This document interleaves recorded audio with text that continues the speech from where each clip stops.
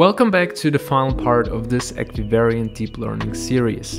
In this video, we will have a look at how equivariance can be baked into the architecture of transformers and GNNs. This means in the following minutes, we will focus on sets, graphs, and point clouds.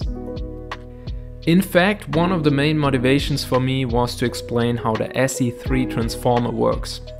I didn't think it would be such a long way from group theory over steerability and other mathematical concepts to eventually understand this paper.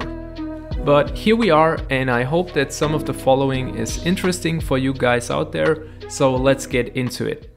Point clouds and graphs fall under the umbrella of sets because they are simply a collection of data points that belong together. You can also see text as a set with each token being a data point. And if we give this set a specific structure, we end up with a graph. Or a point cloud if we also add coordinates. So all of these data structures are somehow connected. Transformers and GNNs are a reasonable choice when working with such data modalities. Transformer models don't really have a strong inductive bias like GNNs do, for example. They are quite flexible regarding the data they are able to model, which is maybe one of the reasons why they are so successful. Of course, given the constraint of having enough data. On sparser datasets, it can make sense to introduce additional biases like done in the SE3 transformer. GNNs, on the other hand, require graph-shaped data because otherwise there will be no message passing between different data instances. On graph data, you can also add coordinates, think of three-dimensional molecular graphs, for example. Both of these model types already carry a special equivariance, namely permutation equivariance. Transformers and GNNs are not sensitive to the order of the inputs, and they're also able to handle varying sized inputs. They are, however, not rotation equivariant, especially in the context of point clouds. Considering these equivariances can benefit many applications, such as physical particle simulations, molecular predictions, or also geometry datasets. Therefore, in this video, we will dive into some architectures that bake in 3D equivariance.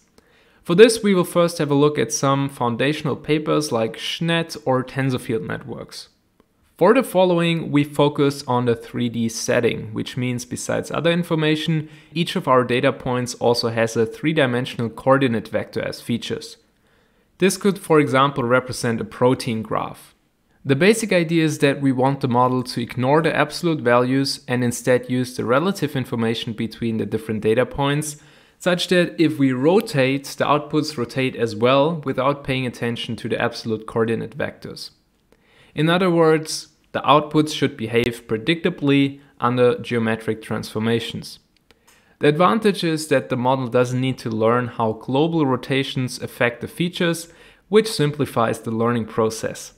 An interesting thing I read is that rotations commute in 2D but not in 3D.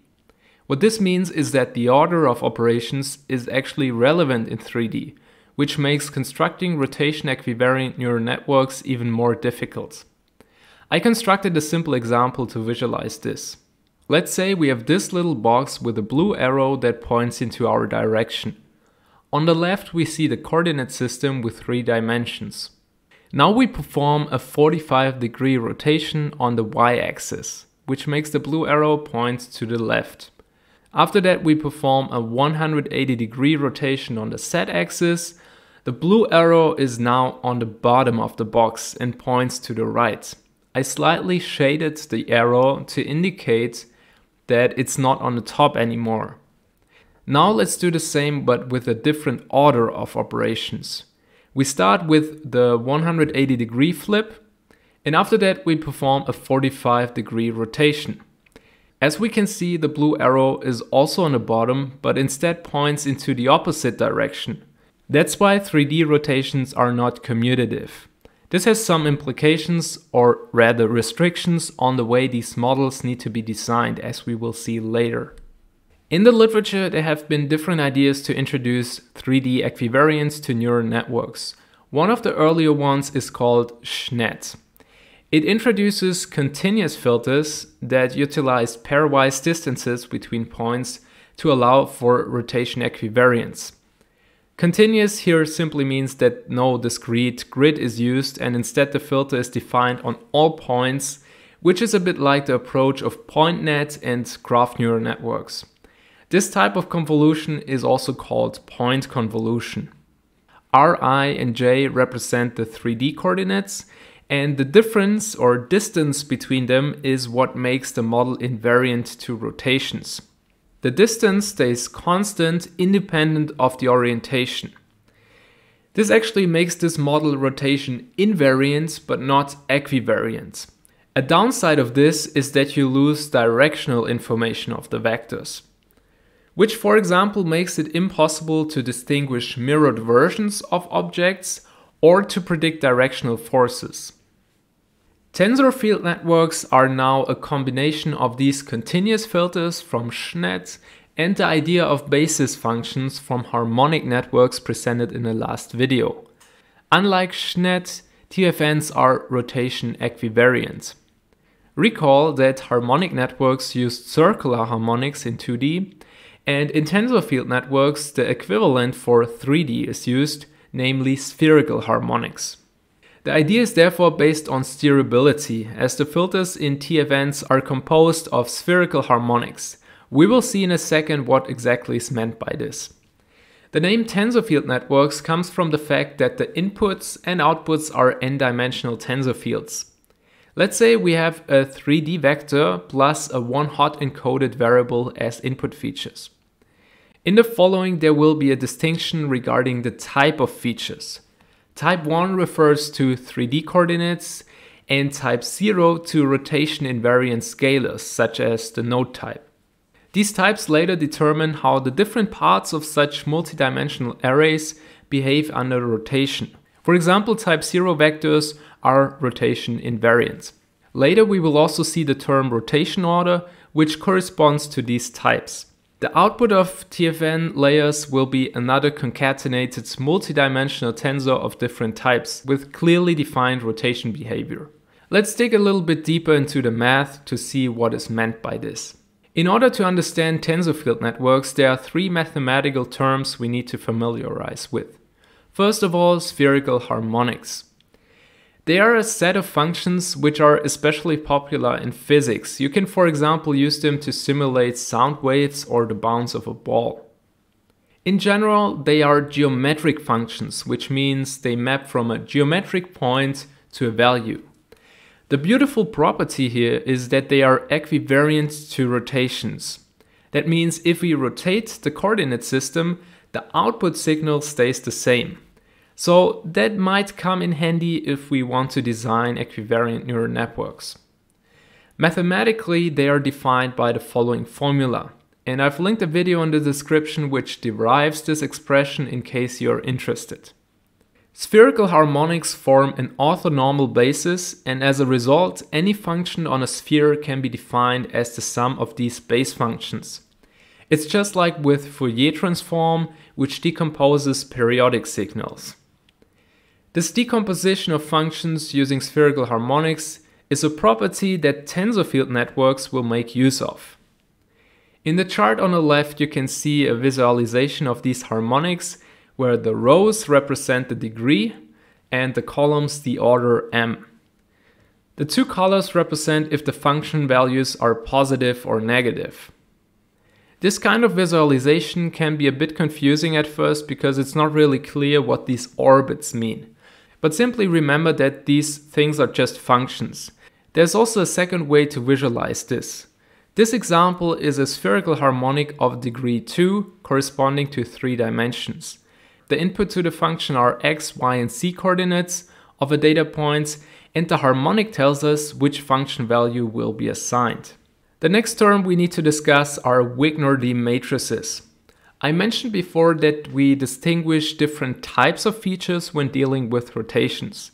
The Wigner-D matrices tell us exactly how these types transform under rotation, because they are the irreps, so irreducible representations, of the group SO3. They can be decomposed into a block diagonal form. And the interesting part is that the orthonormal subspaces of spherical harmonics, so the basis functions, correspond to these Wigner-D matrices.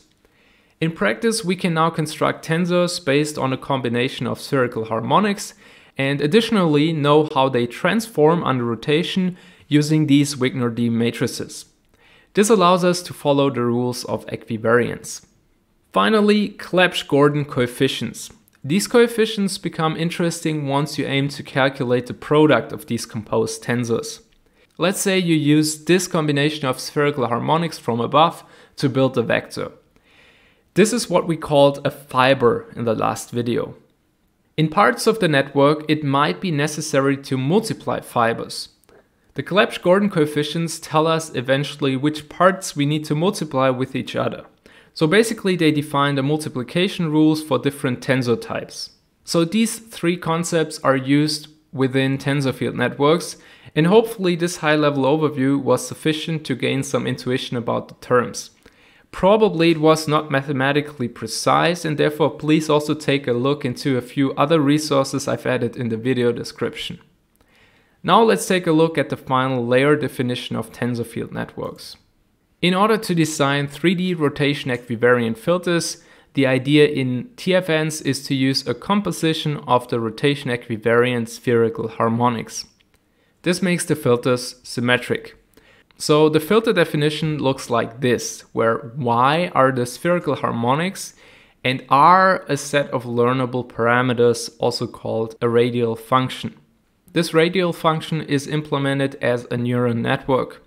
Essentially, this defines how the composition of basis functions looks like. There's a bunch of other symbols which I've added here for completeness, but this is not too important for now.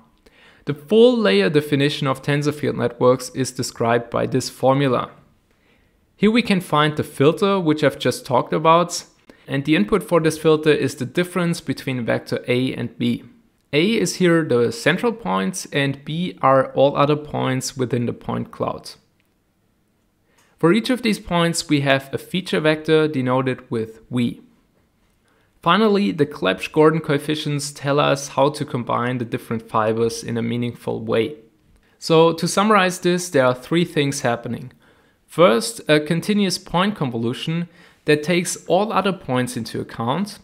Second, the filters are constrained to be a learnable radial function combined with spherical harmonics. And finally, tensor algebra is used to combine different vectors. Here is also where the non-commutativity of 3D is considered because this approach is slightly different from what is done in harmonic networks. If you're interested in some hands-on action using TFNs, I've linked a Jupyter notebook in the video description. It mixes some coding with visual explanations and I think it's a great resource to learn more about these models. Now let's finally move on to the model I originally was interested in, the SE3 transformer. As you by now know, SE3 stands for Spherical Euclidean Group and represents translations and rotations in 3D. It turns out that this model is heavily based on tensor field networks, as we will see in a second. You can also see Max Welling on the list of authors who heavily influenced the field of graph neural networks. This paper on one hand presented an equivariant attention mechanism and on the other hand combines it with graph neural networks. There's a great visual summary of that which I took from the paper. Step 1 is to introduce local neighborhoods and treat them as a graph. This means for each center point, all points within a certain radius based on their 3D distance are selected. The motivation behind this is to make the attention mechanism more scalable because otherwise it has quadratic complexity as each point needs to attend to all other points. The next step is where the tensor field networks comes into play. Instead of using regular weight matrices as in a plain transformer, the space of learnable functions is limited to rotation equivariant kernels based on tensor field networks. This means that all of the components we've learned about before are used here spherical harmonics, a learnable radial network, and Clebsch-Gordan coefficients. Using these new kernels, we are able to override the transformer architecture. For keys, queries, and values, we have a separate weight matrix that transforms the features in an equivariant manner. Additionally, the nearest neighbor graph is used to select points that are used for the attention mechanism. Finally, the attention scores are calculated as usual, namely as a dot product of queries, keys, and normalized using the softmax function. So the overall trick here is really to replace all weight matrices with equivariant kernels that were presented in tensor field networks. As a result, the whole attention mechanism is 3D rotation and translation equivariant. If you're interested in playing around with this, there's a public repository with an implementation from the authors. You can dive into the model implementation and get a deeper understanding about how things are put into code. For example, how fibers are implemented or how the forward function of the model looks like. They also point to an updated implementation by NVIDIA, which speeds up calculations significantly. That's all for this video and also the whole Equivariant Deep Learning series. Of course there are many other interesting models I couldn't talk about here, but I would argue that the aggregated knowledge of this video series is sufficient to understand most of the models out there. I hope you gained some useful insights from this and would be happy to see you again in a future video.